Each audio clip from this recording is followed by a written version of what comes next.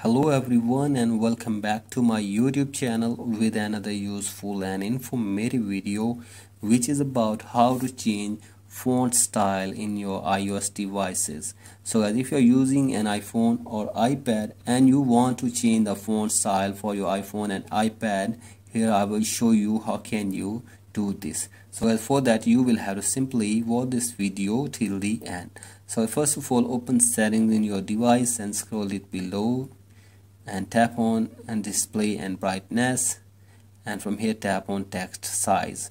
So as from here you can see that you can change the text size from here easily.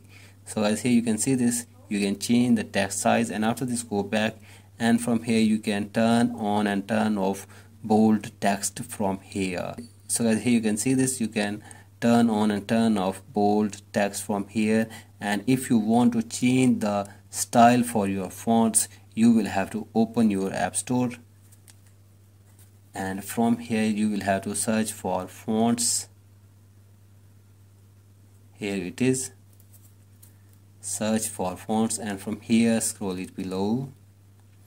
And you will have to simply download and install this app in your iPhone so as the app is fonts for iPhones. So as you can see this I have already downloaded it and installed it. You will have to simply install this app and from here you will have to simply open this app in your device.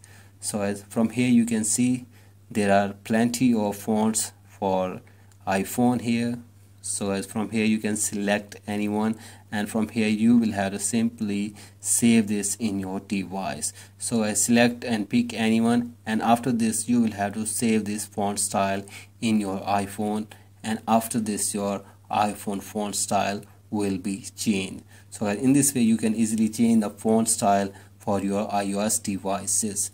So that's it for today's video. Hope this video helps you. Please like and subscribe to my youtube channel as well. Thank you